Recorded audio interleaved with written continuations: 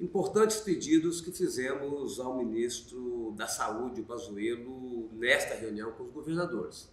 Primeiro é que o governo federal coordene, que o Ministério da Saúde coordene as ações do Plano Nacional de Imunização, porque é inaceitável que um estado possa, ser possa ter sua população vacinada, acesso à vacina, e outro estado não. Isso só não acontecerá se o governo federal coordenar todas essas ações. Então, essa coordenação é fundamental. E também pedimos né, para que o governo federal adquira todas as vacinas que estiverem aprovadas em rito normal, rito ordinário pela Anvisa, ou que tenha sido aprovada por uma outra instituição reconhecida internacionalmente de outro país, né? porque temos que ter é, agilidade. Então, que a gente possa comprar, né, governo brasileiro, todas essas vacinas. Diversos países já estão iniciando é, a vacinação da sua população e é importante que a gente não demore.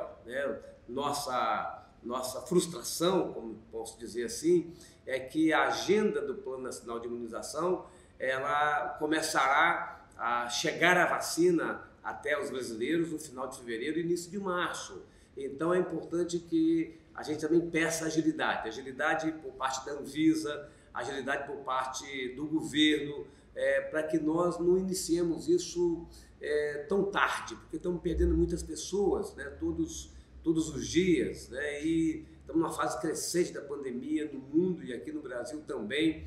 Então, agilidade, pensar num ritmo e num rito é, anormal, para que a gente compreenda a, a importância do momento que a gente está vivendo é fundamental para nós. Então, agilidade, né, disponibilidade de todas, comprar, comprar todas as, as vacinas disponíveis que a gente tiver e nós temos uma coordenação para que, de fato, é, tenhamos segurança e que o governo federal comunique isso com clareza para a sociedade brasileira. A comunicação ela é fundamental para que os brasileiros possam ter segurança é, de quando terão a vacina e, e isso possa anunciar também né, uma solução e uma resolução da Covid-19.